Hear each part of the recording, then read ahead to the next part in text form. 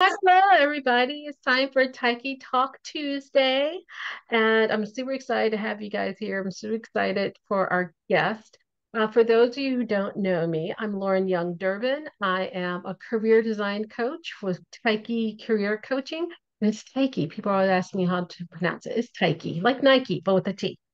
uh, and so I have these talks almost every week with subject matter experts and I learn a lot. I hope you guys learn a lot.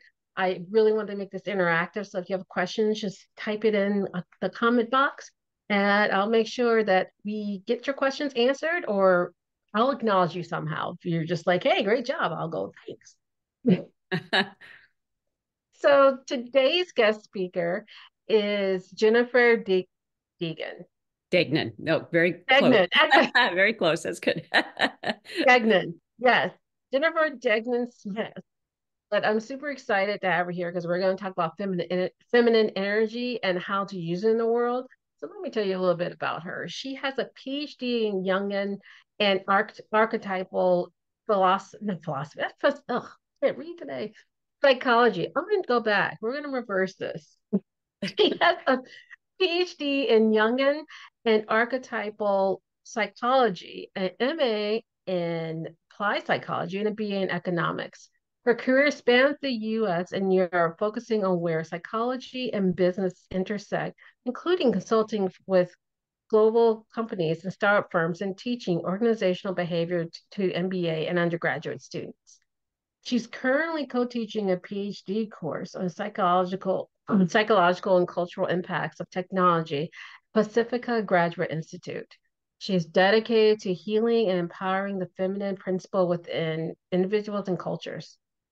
This requires reimagining the feminine from the way Western culture currently pictures the feminine, which is narrow and out of balance with the masculine. Um, oh, sorry, which is a narrow view out of, out of balance with the masculine. She writes, consults, speaks, and teaches, and appears on Tyche Talks about how to find a new feminine through myth, images, dreams, synchronat, synchronat, synchronat. Uh, you say it. Synchronicities. Yep. synchronicities. That's as close as I'm gonna get, y'all. uh, she also works with people to find their soul calling as connecting to the soul is key part of empowering the feminine. So join me and welcome Jen. I'm very excited to be here. Thank you so much. Oh, thank you, Lauren, for asking me to join you. I'm very excited. So thank you so much. And I appreciate all that you've been doing for the Women's History Mo Month this uh, this year, all of the celebrated women. So thank you for that. Yes, for those of you who don't know, every day I put up a picture and a short bio about a woman who I admire and or, or I just like in general. so um, so pay attention, pay attention, and keep an eye out for that because it's going up every, one a day, and so you can catch up on the last twelve if you want to. So let's get started, Jen. Can you share your thoughts on the concept of feminine energy and its potential value in the world today? Sure. No, and that's a great question. I was, you know, glad that you used the word energy because that's the way that, you know, I sort of look at the feminine is in terms of it being a principle, but not really connected to gender or not not not necessarily hard hardly you know hard connected to gender. And for me it's about um, things that have been repressed in our culture things like intuition you know things about um, our emotional lives our creative lives. Um, there are things like having a the feminine has a very um, healthy connection to the body the somatic appreciating that it has an intelligence and a wisdom all of its own. And um, you know the feminine's about soul and flow and um, just about being you know rather than all of the the doing. Um, and for me the feminine one of the biggest parts of the feminine principle is that it recognizes that we are all deeply connected. So it it you know um, it's it's very important for community. And it also recognizes that the world around us is ensouled and that we're deeply connected to an ensouled world. So in terms of the value that it brings, you know, I think it's sort of all of those things is it um, helps us to see or helps us to really value our emotional lives, our creative lives, really listen to listening to our intuition and appreciating the value in and the wisdom in our intuition and then really like creating solid community and and and nurturing and taking care of the world around us. So I hope is I hope that's clear that that makes sense yeah. to you. I realize I I jumped ahead. Um, oh, not in the questions I asked you, but uh, just kind of as to set the board. Could you define on a very basic elementary level what feminine energy is and how it's different than masculine energy and how how did it become feminine versus masculine or like how do we get those kind of gendered i mean that's a whole you probably teach your whole class on that. Well and i and i think that there's i you know i don't I, I don't know that i'm an expert in sort of the whole history of how that how that came about. I think for me the um you know you can look at it in terms of the yin and the yang. Sometimes i mm-hmm. think even putting the words sort of feminine and masculine around it puts a gendered element to it that i don't necessarily think needs to be there maybe we'll come up with other terms or maybe we'll come with up with a bigger concept you know the way that i the way that i look at it and um and from a depth psychological view which sort of incorporates a lot of the jungian view is that we all have a connection to the feminine, the inner feminine, and the inner masculine. Everybody does, or the yin and the yang. And so, thus, it isn't necessarily, you know, a, a you know gendered really in terms of that. So there's an element of um, we all need to be connected to those elements of the feminine like the emotional lives like the soul uh, for you know our psychological and for our cultural health. I, does mm-hmm. that does that clarify things a little bit? Yes yes it definitely does. It's basically complementary energies however yeah. you want to define the word yin and yang or feminine masculine. Is that right Exactly. And there's a balance to them. So, you know, and right now our culture culture generally favors um, the masculine side of things, right? The which can be looked at in terms of things like, you know, the logical and the rational, the thinking function, um, the intellect, and um, there's a lot about progress and goals and kind of a linear view and a linear perspective and a linear movement, forward movement. Of course, mm-hmm. all of those things are important too. You know, we need a connection to the healthy masculine as well. We need connections to both, and they just they just need to be in balance rather than mm-hmm. sometimes in our culture the feminine is used to serve the masculine right? The you know the or the the masculine becomes the more important of the of the two. So how do you balance them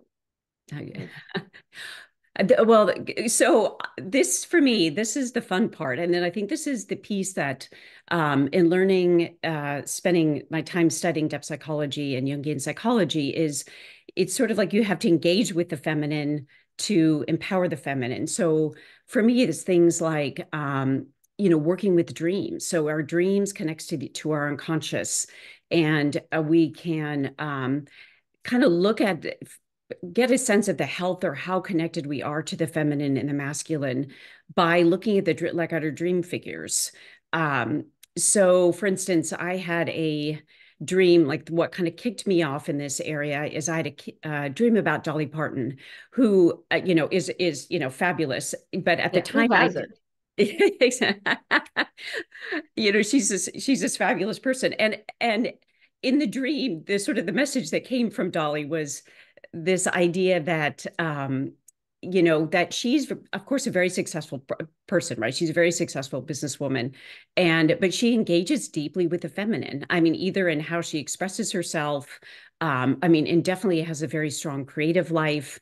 And so it would her the message her message to me in the dream was okay jen you're kind of um, you're focusing more on the masculine side of things, like the the rational and the logical. And listen, can you have some fun and wear some red lipstick and some rhinestones and you know have a bring in your bring your creative life back? Basically, is what what she told me. So, you know, that's one way of um, engaging with the feminine. Is like looking at what our dream figures are telling us. Our masculine dream figures can also tell us uh, can reflect a little bit about the health of our inner masculine too so which i have found very helpful um, and and others that i've worked with have too. Um, the other way of of engaging with the feminine is thinking about the myth and the stories uh, that we engage with. So like um, you know like the women that you're you know putting up in social media is you know helping us to see different examples of women or, or or men who engage or whoever however they gender identify eh, you know engage with feminine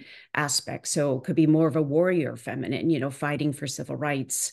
Um so that's a, that's another way. I mean if we look at some of the movies that that are out um and how they show us you know different way you know how to engage with the feminine too. Um one of the ways that i personally have found, and actually there's a, a I've, I have a chapter in a book it's on uh, parapsychology, which talks about how we engage if we choose to um, engage with an ensouled world like if we recognize that the world around us is engaged uh, sorry is ensouled and we listen to how it speaks to us uh, which is usually through the synchronicities you know through these sort of coincidences that have meaning for us that they that it can help us to see uh, where we are or aren't um, engaging with the feminine. So, for instance, in uh, this, this chapter that I wrote about, I um, I spent a, about eight years. I traveled extensively to Greece and studied a lot of their mythology.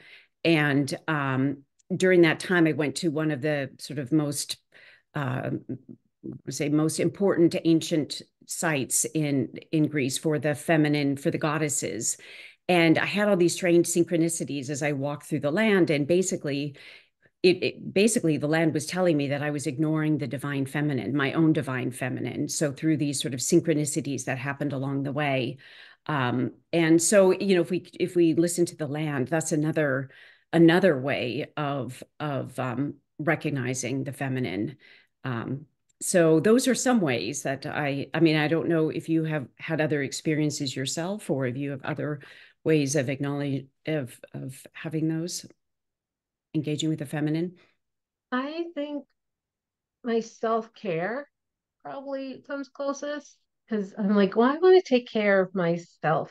I want to paint my nails. I'm going to spend time doing you know just paying attention to i don't know that's probably not feminine energy so much as oh, I, I do listen to my intuition a lot. Yes I've learned to lean into that. Um, because oftentimes uh, you can rationalize or intellectualize and intellectualize a lot of things, but if you do a gut check, you realize that it's not quite true. And I've learned I don't need to know the answer, but I can, if I can tell in my gut that by my intuition that whatever that is isn't the answer, then I, I tend to go with that. Good. I think that's great you don't need to know why. You just need to know what the answer is, right? Or what this is, mm-hmm. you're feeling. And how do you feel the, how do you know when is your intuition talking? How do you know? Oddly enough, the reason I I figured out it was kind of like through the masculine energy, I guess you're saying balance when I'm like, I keep like seeing this thing and keeps coming true. And I, I took the analytical side, like, okay, let's think of examples where this has been true. And because of that, it's like, all right, we're going to give more credence to this side. So that, that was kind of the my balancing act. But I don't know. I mean, you just know that is not kind of what intuition exactly. but we've been talked out of that, right? It's all supposed yeah. to come from here, but it, we can always. And I would, uh, you know, one of the other ways that I find is I listen to the symptoms in my body. So yes. if suddenly I wake up and, you know, the jaw, you know, I feel something in the jaw or I feel something in the stomach or my ears are plugged it's like okay what am i not listening to or oh, but the yeah. body is is a great place to connect to the feminine and the the, the intuition i think. That's what i found. Yeah i notice um when i cry when if i tear up about something that's when i know i'm hitting close to what the real issue is. Um i may have to dig into that more but it's kind of like oh this this is closer to what is really happening. We can look at that more but um all these other things i was saying or doing isn't resonating, but this is for some reason. So figure that out. Yeah. I do have a question. It's um definitional question. You said ensoul. What what does that mean? Ensouled. So um, you know, often we look at the world around us as I don't know, objects, right? That, you know, um, and and often is for, you know, to be used for human purpose. But, you know, I have a deep belief that the world around us is ensouled, meaning that um, you know, the trees are ensouled, you know, that that everything sort of has some sort of living consciousness or some sort of life in and of itself. And actually I was just looking at something um, the science is now looking at at the earth as having um, a, a, consciousness and it's maybe seen through the you know through i think they were saying through the fungi that they're realizing that things are alive oh. that way but for me i've you know um, there's just an experience of of looking at the world as as if it's as if it's alive you know as if the animals are ensouled have their own souls as if the trees and the birds and the you know every everything around us has the landscapes i mean the ancients believe this right that that uh-huh. places uh-huh. have these certain spirits that guard them um you know i love traveling to ireland because i feel like i can feel the fairies in the you know in the forests and things like that so and you know carl jung talked a lot about this in his psychology that believing that you know we're all connected to the you know this element of the anima mundi the ensouled world so this is, you know, this is often goes back to other cultures believe this, other times have believed this, and it's kind of bringing some of that back to life. Like, um, and I'm not being flippant, but it's like in Moana. Have you seen Moana? I have not. No. Oh, there is. Uh, I I'm scared to watch it again because it hit so hard the first time that I watched it. So, and I'm sure there are going to be people watching this. They're like, oh, that's not right. It was years ago, and I, I it's it still like goes. So there is a mountain or island who she's missing her heart, and it was stolen for some reason. And so Moana has to return the heart to this mountain. And so at the end, oh, spoiler alert, if you don't know Moana and haven't been around for the last 10, 15 years, so once she gets her heart or her soul back, you see her like grow as a goddess. Like she started out like very fiery. And then once she got the soul, or her heart back, she was a turned into a green goddess, mountain goddess. um again, I saw this like 10 years ago, but or however long ago it was. But that's I was like, oh yeah, that sounds uh familiar. Like he was breathing. She was a living being. Uh, Moana was too, but the I can't remember the name of the goddess. But um, no, I do kind of have a story about your like like your Ireland one. So I went to Mount Vernon, uh, the house of George Washington, and as most people know, George Washington had slaves. Um, and and so there's a section where the enslaved people are buried. And I had only gone once, I think, before, and I hadn't gone back to where it was. Uh, like made a point to find it. Um, and actually, I don't even know. I mean, I think I went looking for it, and there wasn't a sign up that I could see. I get lost easily. Um, in train of thought. Vernon.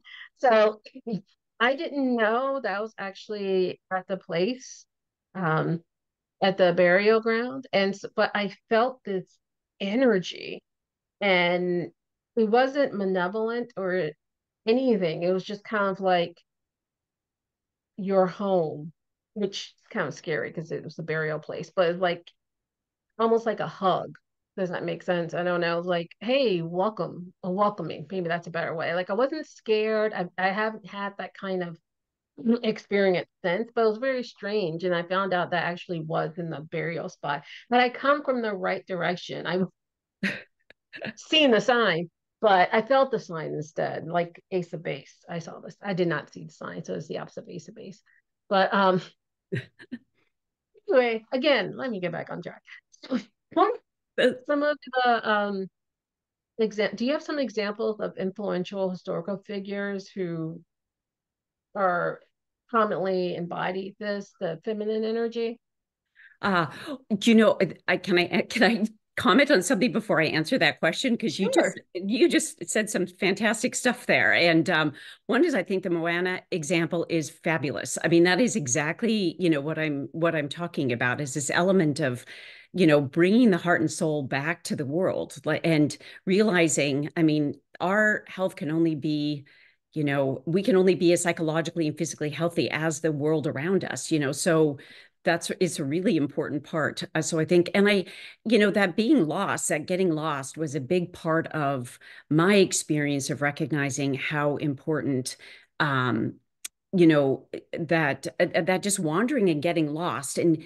feeling pulled in certain directions or and then seeing kind of the think the feelings like whether it was a sense that i got um, or sometimes like when i was walking through the streets of athens i'd come across some really interesting um, street art and i'm like okay well what is the which usually reflects the kind of what the cultural psyche is saying and then what does that mean to me? And then a couple of times i'd wander and it came across these just very interesting um, like women arts you know um, you know uh, like museums that were holding these really interesting women's women in arts things that nothing i planned. It was all just the stuff i stumbled across and how important that was. So um so i think that wandering um is really an important part of of this and that that getting that heart back in there. So thank you. Those were i really enjoyed those i enjoyed your stories. So um and What's that saying? All the all who wander aren't lost, or something like that. Yeah. There's a saying like that.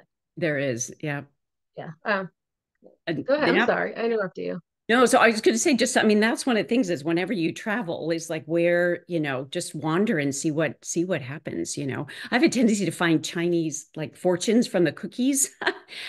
when my husband's like, "How do you always?" And they're you know, and they say have a. I mean, like they're not always that kind of on the nose, but you know, but we'll find that. But what are the what are the symbols in the you know what are the the messages coming at you from around the around as you wander? But um so, in terms of historical figures um, and the feminine, I mean, one of the, you know, and I've got a whole bookcase, as I mean, I know it's relevant for, you know, what you call your company is, you know, the ancient gods and goddesses bring in elements of the feminine that our current culture do not. So, um, you know, whether it's somebody like Aphrodite who brings in this, you know, sensuality and beauty that our that our culture doesn't always recognize. Um, Artemis, you know, the ancient Greek goddess Artemis, who has you know really deep connections to um, to the, the natural world and you know she's a warrior right she's got this warrior mm-hmm. element to her too um, and she also protect protects the adolescent uh, you know, girls, which I think is really an important, oh, really important in our culture. So, um, so there's, you know, elements, there's also, um, uh, you know, Athena, who is maybe more of the masculine, also has deep ties to the masculine, but she also has ties to soul, to the more the more soulful life herself. She's the goddess of wisdom.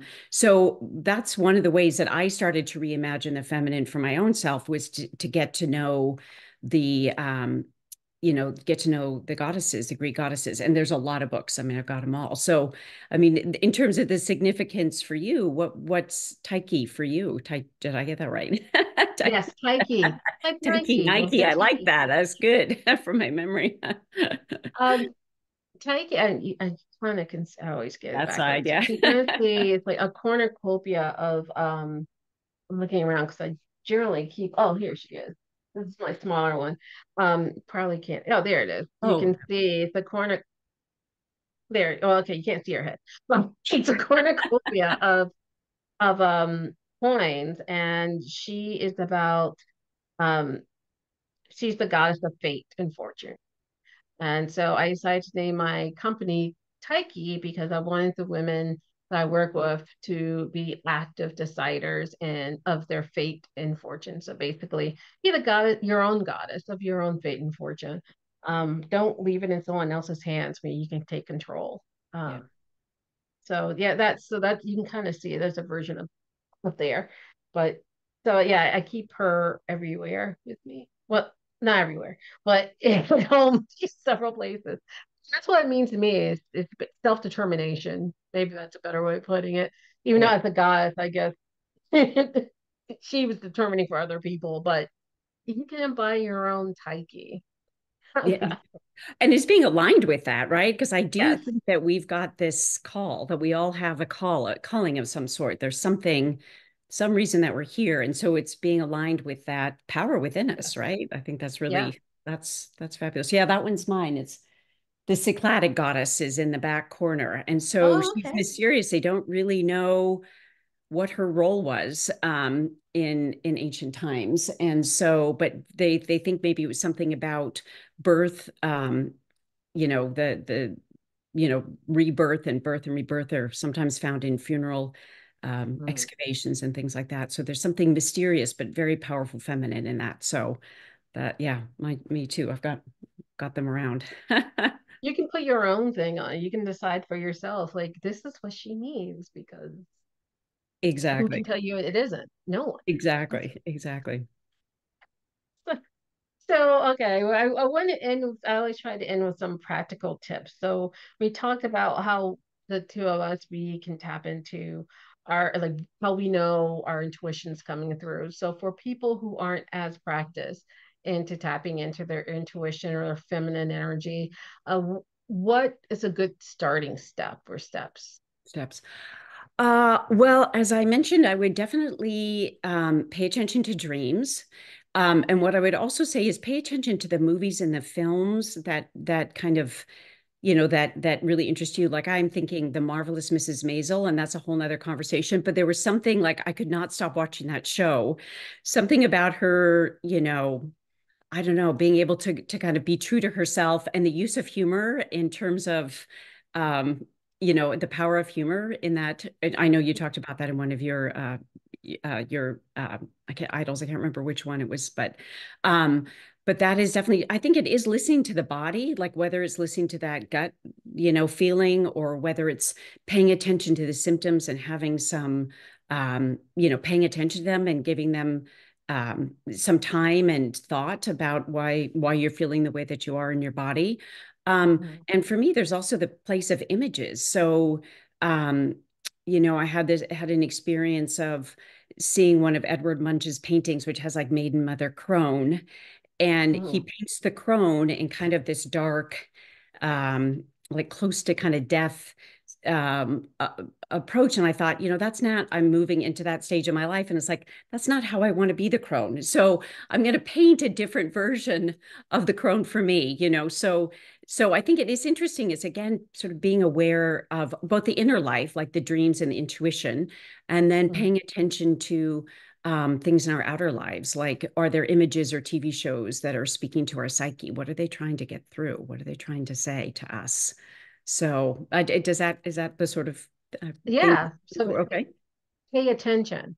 Pay attention. yeah, pay attention to yourself but we spend so much time thinking about what other people are thinking about us or looking at us. We could spend that time and energy looking inward in exactly. order to improve ourselves and be more whole within ourselves and with nature. It's the reason why they call it Mother Nature. Yes. yep. That nurturing in- instinct, that nurturing for ourselves, not just for everybody else, because that is yes. often what happens is it goes towards everybody.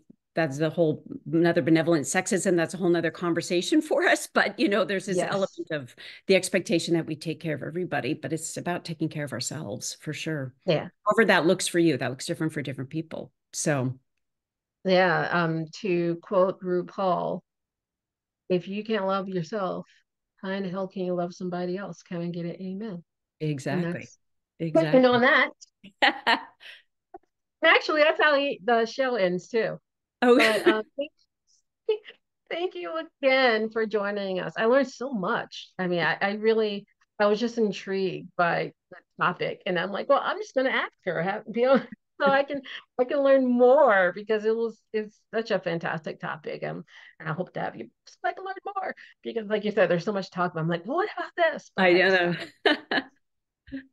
well, thank but, you. Um, Wonderful. Thank you so our next Tyche talk is the 19th. So yes, next Tuesday, it's going to be with Ariel Nathanson, and it's going to be how to make smart investment decisions. We're flipping the switch.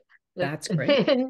it's like flipping the not switch script. That's where we're flipping. We're flipping script next week, and we're going to have Ariel Nathan, uh, Nathan uh, who was here last year. So she's coming back. I'm really excited. Um, so she is going to, we're going to be talking about how to make smart investment decisions in 2024. And I hope to see you guys then. Same time, same bat place. Bye.